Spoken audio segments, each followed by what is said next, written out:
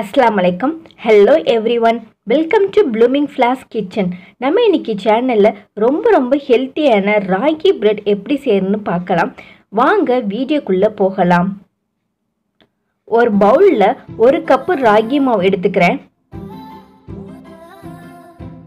அது கூடவே அரை கப்பு கோதுமை மாவு சேர்த்துக்கோங்க.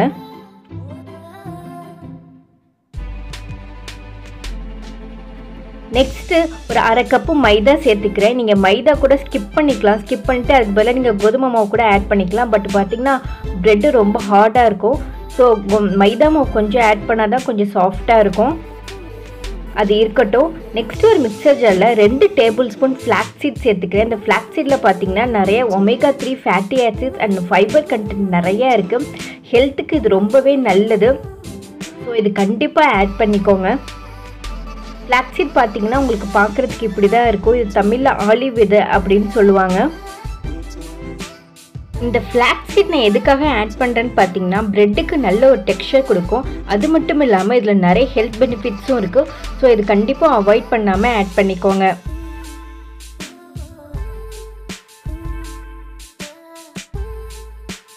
தண்ணி எதுவும் சேர்க்காம நல்லா ஸ்மூத் அண்ட் ஃபைன் பவுடருக்கு அரைச்சி எடுத்துக்கணும்.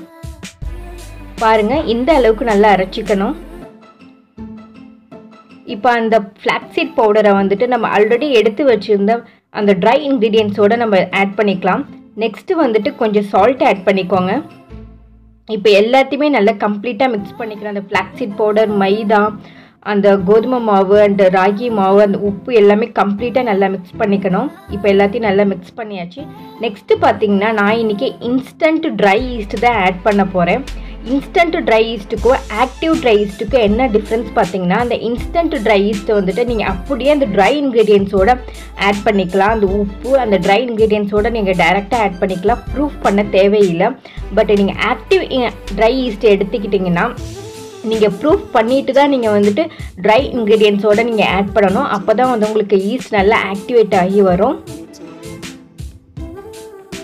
ஸோ இந்த இன்ஸ்டன்ட் ட்ரை ஈஸ்ட் வந்துட்டு நான் இன்றைக்கி ஒன் டீஸ்பூன் இதில் ஆட் பண்ணிக்கிறேன். பார்த்தீங்கன்னா உங்களுக்கு இப்படி தான் இருக்கும். ஆக்டிவ் ட்ரை ஈஸ்ட் பார்த்தீங்கன்னா அந்த கிரானுல் சைஸ் பார்த்தீங்கன்னா கொஞ்சம் பெருசாக இருக்கும். பட் இன்ஸ்டன்ட் ட்ரை ஈஸ்ட் பார்த்தீங்கன்னா நல்லா இந்த மாதிரி ஃபைனாக இருக்கும். நெக்ஸ்ட் அது கூடவே two tea teaspoon sugar add பண்ணிக்கிறேன்.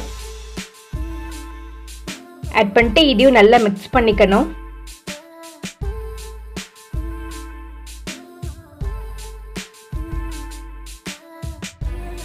அடுத்தது டூ டீஸ்பூன் நம்ம வெஜிடபிள் ஆயில் ஆட் பண்ணிக்கலாம். எந்த ஒரு ஃப்ளேவரும் இல்லாத ஆயில் ஆட் பண்ணிக்கோங்க. ஆட் பண்ணிட்டு இதையும் நல்லா மிக்ஸ் பண்ணிக்கோங்க. இந்த மாதிரி நல்லா மிக்ஸ் பண்ணிக்கணும். நெக்ஸ்ட்டு நான் வந்துட்டு ஒரு கப்பு வார்ம் வாட்டர் எடுத்திருக்கேன். இந்த மாதிரி தொட்டு பார்த்தீங்கன்னா வெது வெதுன்னு இருக்கணும். சூடாக எதுவும் ஆட் பண்ணிடாதீங்க. அப்போ உங்களுக்கு ஈஸ்ட் ஆக்டிவேட் ஆகி வராது. கொஞ்சம் கொஞ்சமாக சேர்த்து நல்லா அந்த சப்பாத்தி டவுக்கு பசைஞ்சு எடுத்துக்கணும். இது கூடவே கால் கப்பு பால் ஆட் பண்ணிக்கிறேன். அந்த பாலும் பார்த்தீங்கன்னா வார்மாக தான் இருக்கணும். கொதிக்க கொதிக்க ஆட் பண்ணிடாதீங்க நல்லா சாஃப்ட் டவுக்கு பசைஞ்சு எடுத்துக்கோங்க. அழுத்தமாக இருக்கக்கூடாதுன்னு ஒரு சாஃப்டாக இருக்கணும். இந்த மாவு பார்த்தீங்கன்னா கொஞ்சம் ஸ்டிக்கியாக தான் இருக்கும். அப்படி இருந்தால் தான் நல்லா ஸ்டா சாஃப்டாக வரும்.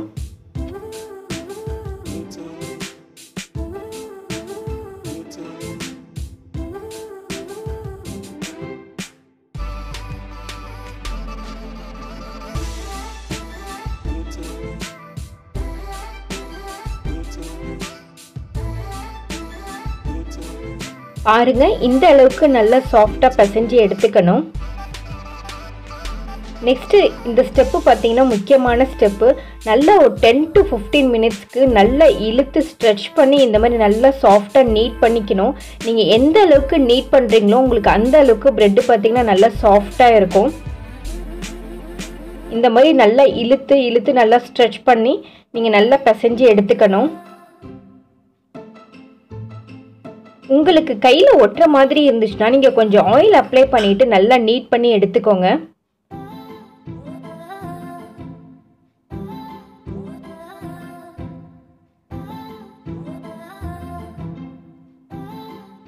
பாருங்க இப்போ நல்லா நம்ம நீட் பண்ணியாச்சு. நெக்ஸ்ட் வந்துட்டு நம்ம ஒரு பவுலில் நல்லா கொஞ்சம் ஆயில் அப்ளை பண்ணிவிட்டு நல்லா க்ரீஸ் பண்ணிக்கோங்க.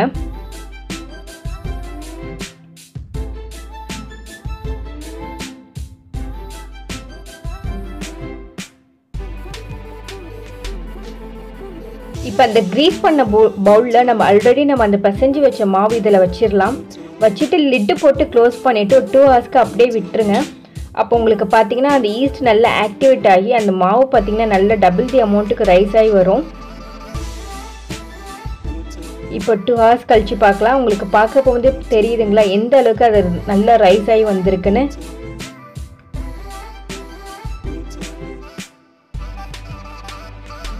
இப்படி தொட்டிங்கனாலே நல்லா சாஃப்டாக இருக்கும்.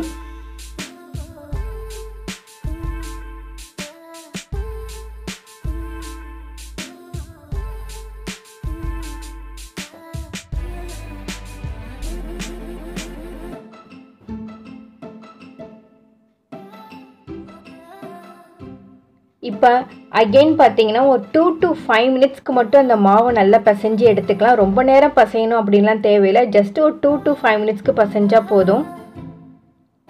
இப்போ நல்லா நீட் பண்ணதுக்கப்புறம் அந்த மாவு பார்த்தீங்கன்னா இந்த மாதிரி நல்லா ஸ்ப்ரெட் பண்ணிக்கோங்க. ஒரு ரெக்டாங்கிள் ஷேப்புக்கு நல்லா ஸ்ப்ரெட் பண்ணி விட்டுக்கோங்க. இப்படி கையிலே வச்சு நல்லா இப்படி ப்ரெஸ் பண்ணிங்கன்னா நல்லா ஸ்ப்ரெட் ஆகும். இப்போ நம்ம அதை ரோல் பண்ணிக்கலாம்.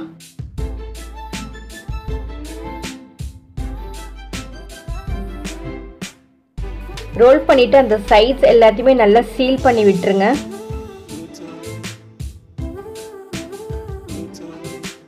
ஒன்ஸ் எல்லாத்தையும் நல்லா சீல் பண்ணதுக்கப்புறம் இந்த சைட்ஸ்லேருந்து அந்த சைடு வரைக்கும் நம்ம அப்படி ரோல் பண்ணிக்கலாம்.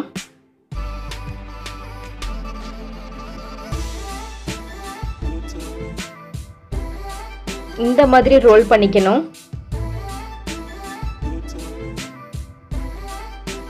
ஒன்ஸ் ரோல் பண்ணதுக்கப்புறம் அகைன் நீங்கள் ரெக்டாங்கிள் ஷேப்க்கு இந்த மாதிரி நல்லா ப்ரெஸ் பண்ணி விட்டுக்கோங்க.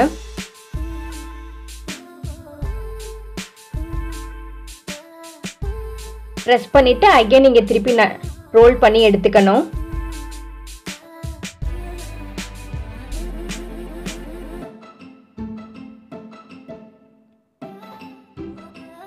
இந்த மாதிரி ரோல் பண்ணிக்கோங்க.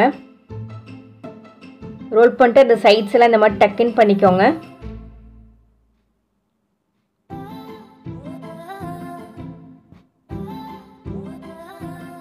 இப்போ அந்த லோஃப் பேன் சைஸ் அளவுக்கு நீங்கள் வந்துட்டு ரோல் பண்ணி எடுத்துக்கோங்க. அந்த பேனில் பார்த்தீங்கன்னா நான் கொஞ்சோண்டு ஆயில் போட்டு க்ரீஸ் பண்ணி வச்சுருக்கேன். இப்போ அந்த மாவு வந்துட்டு நம்ம அந்த பேனில் வச்சிடலாம்.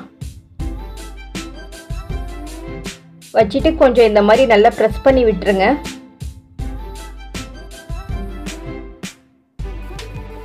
ஒன்ஸ் ப்ரெஸ் பண்ணதுக்கப்புறம் ஒரு லிட்டு போட்டு க்ளோஸ் பண்ணிவிட்டு ஒரு தேர்ட்டி மினிட்ஸ்க்கு விட்டுருங்க. அகெயின் நல்லா ரைஸ் ஆகி வரும். இப்போ தேர்ட்டி மினிட்ஸ் ஆயிடுச்சு. உங்களுக்கு பார்க்க போகும்போதே தெரியுதுல அது எந்த அளவுக்கு நல்லா ரைஸ் ஆகி வந்திருக்குன்னு. இப்போ அந்த டாப் லேயரில் பார்த்தீங்கன்னா நான் கொஞ்சோண்டு பால் வந்துட்டு இந்த மாதிரி ப்ரஷ் பண்ணி விட்டுக்கிறேன். இப்படி பண்ணுறதுனால அந்த டாப் லேயர் வந்துட்டு நமக்கு ட்ரை ஆகாமல் இருக்கும். நீங்கள் பால் அப்படி இல்லைன்னா எக் ஒயிட்டு கூட நீங்கள் ப்ரஷ் பண்ணி விட்டுக்கலாம். ஸோ கண்டிப்பாக இந்த மாதிரி செஞ்சுக்கோங்க. நெக்ஸ்ட்டு பார்த்தீங்கன்னா உங்களுக்கு பிடிச்ச மாதிரி கொஞ்சம் சாப்பிடு நட்ஸ் அப்படி இல்லைன்னா டூட்டி ஃப்ரூட்டி வெள்ளரி விதை கருப்பு எள்ளு வெள்ளை எள்ளு இந்த மாதிரி மேலே கொஞ்சம் லைட்டாக ஸ்ப்ரிங்கிள் பண்ணி விட்டுக்கலாம். அப்படியும் இல்லாட்டினா நீங்கள் கோதுமை மாவு கூட ஸ்ப்ரிங்கிள் பண்ணி விட்டுக்கலாம். நான் இன்றைக்கி வந்துட்டு கருப்பு எள்ளை ஆட் பண்ணிக்கிறேன். ஒன்ஸ் ஆட் பண்ணதுக்கப்புறம் நான் ஆல்ரெடி வந்துட்டு ஓவனை ப்ரீ ஹீட் பண்ணி வச்சுருக்கேன். ஒன் எயிட்டி டிகிரி செல்சியஸில் டென் மினிட்ஸ்க்கு அந்த ப்ரீ ஹீட்டட் ஓவனில் ஒரு தேர்ட்டி மினிட்ஸ்க்கு அதே ஒன் எயிட்டி டிகிரி செல்சியஸில் நான் பேக் பண்ணி எடுத்துக்கிறேன். இப்போ தேர்ட்டி மினிட்ஸ் கழிச்சு பார்க்கலாம். பாருங்கள் நம்மளோட ராகி பிரெட் சூப்பராக ரெடி ஆயிடுச்சு. இப்படி ப்ரெஸ் பண்ண போகும்போதே உங்களுக்கு தெரியுதுல நல்லா சாஃப்டாக வந்திருக்குன்னு. இது கம்ப்ளீட்டாக ஆறுனதுக்கப்புறம் நம்ம டிமோல்ட் பண்ணிக்கலாம். இப்போ நல்லா ஆறிடுச்சு. வாங்க நம்ம டிமோல்ட் பண்ணிக்கலாம். பாருங்கள் நம்மளோட ப்ரெட்டு கொஞ்சம் கூட ஒட்டாமல் நல்லா சூப்பராக வந்திருக்கு. என்னோட பேன் பார்த்தீங்கன்னா கொஞ்சம் பெரிய சைஸ் அந்த பேனுக்கு நாலு கப்பு மாவு ஆட் பண்ணால் தான் அந்த பேன் ஃபுல்லாக இருக்கும். நான் இன்றைக்கி உங்களுக்கு கம்மியான குவான்டிட்டியில் ஜஸ்ட் ரெண்டு கப்பு மாவு ஆட் பண்ணி காமிச்சிருக்கேன். ஸோ அதனால் உங்களுக்கு அந்த பேனில் பாதி தான் இருக்குது அவ்வளோதான் ஃப்ரெண்ட்ஸ் உங்களுக்கு இந்த வீடியோ பிடிச்சிருந்துச்சுன்னா மறக்காமல் லைக் பண்ணுங்கள் உங்கள் ஃப்ரெண்ட்ஸ் அண்ட் ரிலேட்டிவ்ஸ் கூட இந்த வீடியோவை ஷேர் பண்ணுங்கள் கண்டிப்பாக இந்த ரெசிபியை ட்ரை பண்ணி பார்த்துட்டு உங்களோட ஃபீட்பேக் என்னோட கமெண்ட் செக்ஷனில் ஷேர் பண்ணுங்கள் சேனலுக்கு ஃபஸ்ட் டைமாக இருந்தீங்கன்னா மறக்காமல் சேனலை சப்ஸ்கிரைப் பண்ணிக்கோங்க. மீண்டும் நெக்ஸ்ட் வீடியோவில் டிஃப்ரெண்ட்டான ரெசிபியோட நான் உங்களை மீட் பண்ணுறேன் பாய் டேக் கேர் அஸ்லாம் வலைக்கம்